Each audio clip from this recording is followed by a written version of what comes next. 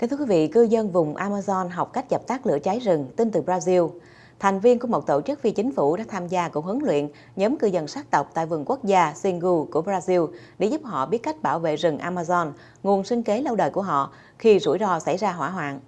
Một nhân viên cứu hỏa của tổ chức Alianca cho biết, nhiều nhóm thổ dân sinh sống tại vườn quốc gia Xingu đã được mời tham dự cuộc huấn luyện giúp họ kiến thức và sự khéo léo cần thiết để dập tắt kịp thời hỏa hoạn. Tuy nhiên, nội dung các cuộc huấn luyện này không thật sự chỉ xoay quanh việc cứu hỏa, mà thổ dân địa phương còn học được cách bảo vệ rừng nhiệt đới, vừa là nơi trú ngụ của họ, vừa là khu vực săn bắn và trồng trọt để không làm tổn thương sự tồn tại của rừng Amazon. Một học sinh thành viên của người bản địa ở địa phương tham dự cuộc huấn luyện cho hay, cậu học hỏi được rất nhiều từ khóa học. Theo cậu, dùng lửa để đốt và dọn nông trại là phong tục lâu đời của người địa phương, nên việc học hỏi cách kiểm soát được tình huống là điều hết sức cần thiết.